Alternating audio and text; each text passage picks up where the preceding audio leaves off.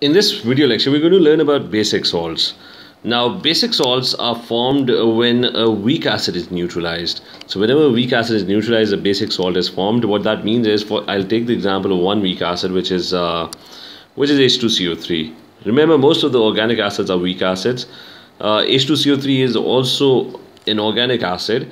Um, so H2CO3 is a weak acid. What that means is that this acid doesn't it doesn't like to ionize. It doesn't want to produce H plus 1 ions. So it partially ionizes or weakly ionizes. It produces two H plus ions and one CO3 2 minus ion when it ionizes.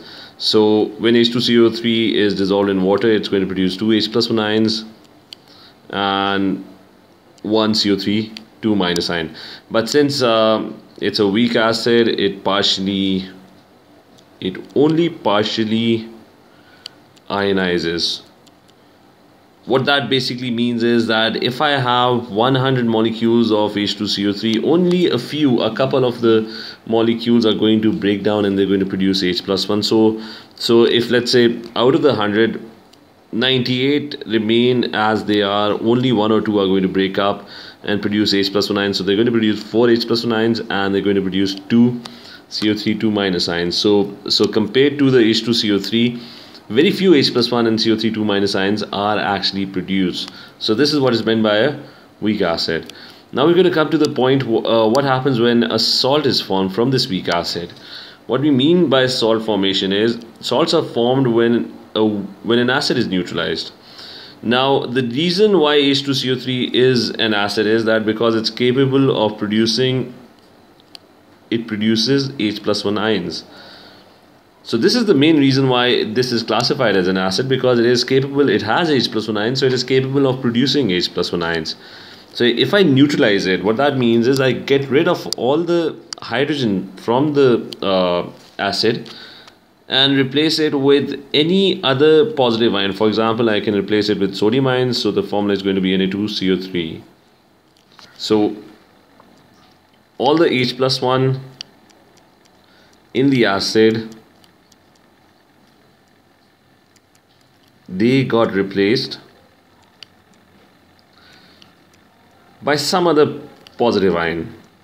So if they got replaced by some other positive ion, now this thing over here is called a salt. It's called a salt because it's no longer able to act as an acid. Na2CO3 doesn't have any H plus 1 ion, so it wouldn't be able to produce H plus 1 ion. So that means that, uh, that the acid has been neutralized. So you had an acid which was capable of producing H plus 1 ions, but once you got rid of all the H plus 1, replaced it with some other positive ion, it could be any positive ion, a salt is formed because this can no longer produce H plus 1 ion. So this salt is formed. Now this salt, because it is formed from a weak acid, this H2CO3 was a weak acid, this salt would be called a basic salt and I'll explain to you why it would be called a basic salt. It's, it would be called a basic salt now coming to the reason why this is called a basic salt. Now looking at this first uh, uh, ionization reaction, what we suggested was that H2CO3 doesn't want to get ionized. It, it had a very less uh, lower tendency to get ionized. So, so very few H plus 1 and CO3 minus 2 ions would, would be produced. Or vice versa, we could have said that if there were any CO3 2 minus ions or H plus 1 ions, they would be combining to form H2CO3. They don't like to remain in the ionized form. That is what is meant by a weak acid. That the attraction between ions is so strong that any H plus 1 or CO3 minus 2 ions up, if they are produced, they're going to go back and they're going to form uh, H2CO3 back again. They, they're not going to remain in the ionized form, which is why very few H plus 1 ions would be produced by this particular acid. Now, I have this I have this basic salt. Now this basic salt, the reason why it's called a basic salt, this basic salt has two ions. One is the sodium ion and the other one is the CO3 minus 2 ion.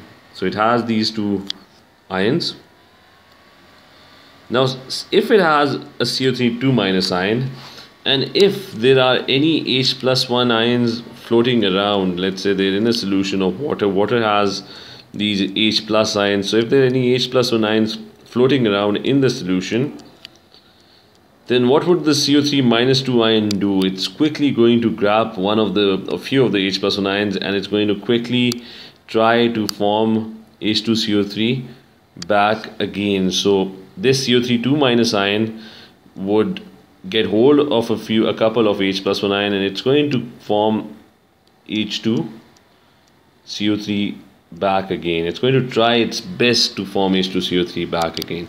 So what that means is that if you have this salt, the CO3 ions in this salt, they have a very high tendency to attract H plus 1 ions. So if they attract H plus 1 and form the acid back again, so they're accepting H plus 1 ions. If they're accepting H plus 1 ion, anything that accepts H plus 1 ion or is a proton acceptor would be called a,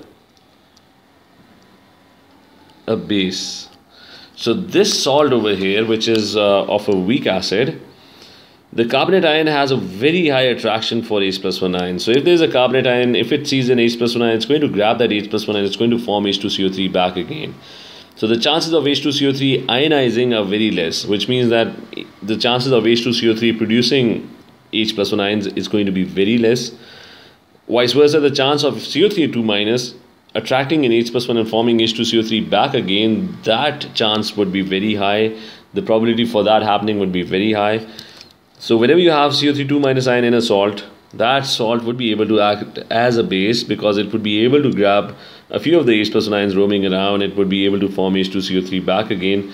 Hence, that salt over here, we started off with this basic salt. That salt, since it's accepting H plus 1 or one of the ions in the salt is accepting H plus 1 ions, hence it could be called a basic salt.